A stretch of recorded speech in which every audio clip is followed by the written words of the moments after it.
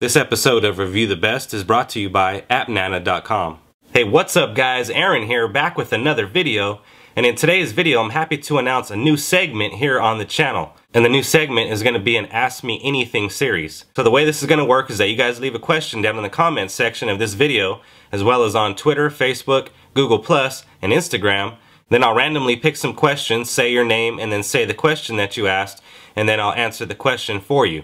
Now the easiest way for me to see your question would be to drop it here on this video, but you can leave your question on any of my social networks. I'm going to have links down in the description to all my social networks, so follow me on those networks, that way you can drop me some questions there as well. Now if you guys are interested in this new segment and new series of Ask Me Anything questions, be sure to let me know by dropping a thumbs up down below and let me know down in the comments section what your question is. Anyways guys, that's going to wrap this one up for me. Once again, all my social links will be down in the description. Now before I head out of here, let's take one last look at our sponsor.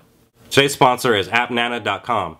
And AppNana provides nanas for every time you download certain particular applications, and you can redeem these nanas to get certain things such as Amazon and iTunes gift cards, as well as PayPal cash directly to your PayPal account. And if you are interested in receiving rewards from AppNana, I went ahead and left the instructions on how to do so down in the description.